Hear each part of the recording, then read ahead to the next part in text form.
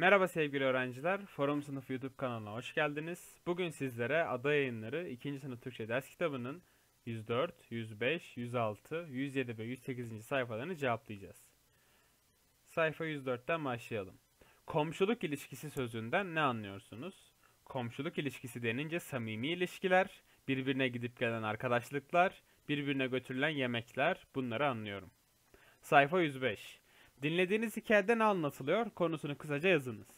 Dinlediğim hikayede Burcuların anneannesi Gile tatile gittiğini ve orada çok eğlendiğini, komşuluk ilişkilerinin çok güzel olduğunu, geri dönüşte Burcu'nun çok üzüldüğünü anlatmıştır. Dinlediğiniz hikayedeki olayların oluş sırasına uymayan cümleyi bulup işaretleyiniz. Anneannelerin yaptığı yiyecekleri çok güzeldi cümlesini işaretliyoruz. Sayfa 106 Soruları dinlediğiniz hikayeye göre cevaplayınız. Burcular niçin anneannelerine gidiyorlar? Burcular tatil için anneannelerine gidiyorlar. Anneanne nerede oturuyor? Küçük ilçede. Burcu kimlerle oyun oynadı? Komşu çocuklarıyla oyun oynadı. Sokakta oyun oynanır mı? Kentte sokakta oyun oynamak çok tehlikelidir. Küçük yerlerde tehlikeli değildir. Burcu anneannesinin komşuluk ilişkilerini görünce ne düşündü?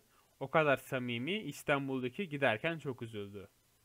Burcular niçin sokakta oynadılar? Küçük bir yer olduğu için araba geçmiyordu. Bu yüzden rahatça oynadılar. Dönüş günü neler oldu?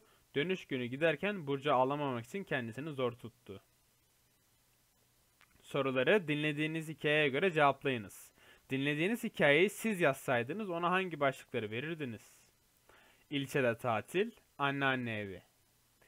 Hikayenin konusuna uygun iki başlık yazınız. Başlığın tamamının ya da başlığı oluşturan kelimelerin ilk harfinin büyük yazılacağını hatırlayınız. İlçede tatil, anneanne evi. Sayfa 107.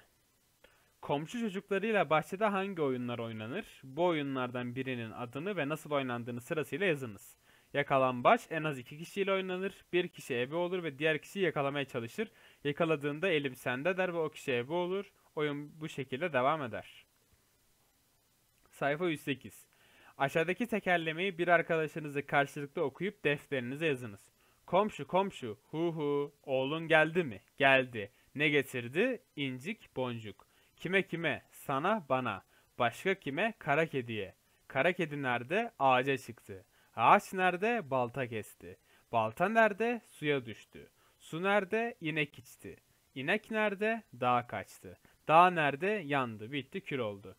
Videonun bu kısmını durdurup buradaki tekerlemeyi defterinize veya kitabınızın ilgili kısmına yazabilirsiniz. Videomuzun sonuna geldik. Forum sınıfı takip ettiğiniz için teşekkürler. Videoyu beğenip kanala abone olmayı unutmayın. İyi dersler dileriz.